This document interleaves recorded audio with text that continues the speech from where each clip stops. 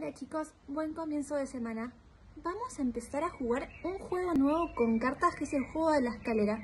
Por ahí algunos ya lo conocen porque ya lo ha jugado en casa.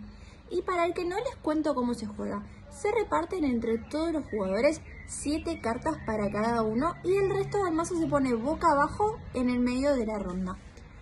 Para jugar hay que formar escaleras de mínimo 3 cartas, que son 1, 2, 3, 4, 5, 6, los números que ustedes quieran, no importa esta vez los diferentes palos, sí importan los números.